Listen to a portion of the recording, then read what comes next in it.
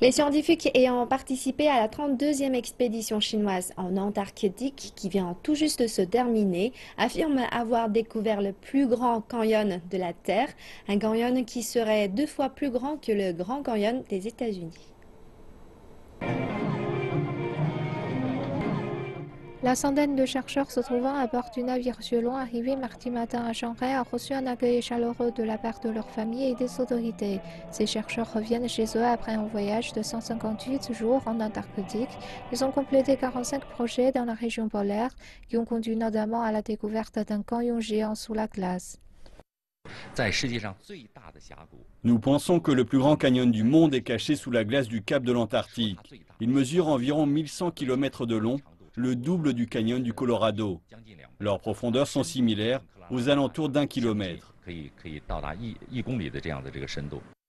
Cette découverte est effectuée par les scientifiques grâce à l'avion polaire Tuying 601 qui est utilisé pour transporter des biens pour les missions de sauvetage et pour la recherche scientifique. La Chine est le cinquième pays à utiliser un avion pour la recherche dans les pôles après les États-Unis, la Russie, l'Allemagne et l'Australie.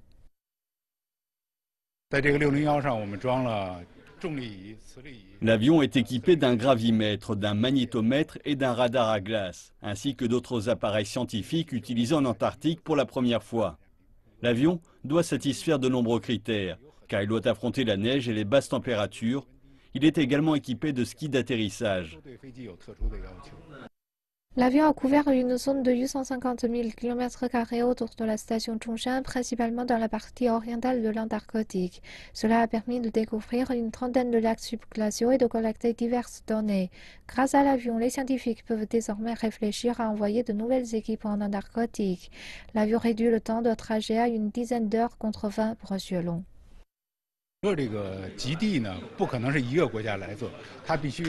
Plusieurs pays doivent être impliqués dans le système d'aviation de la région polaire. Il existe un réseau d'aviation dans la région orientale de l'Antarctique qui permet à plusieurs pays de partager leurs ressources.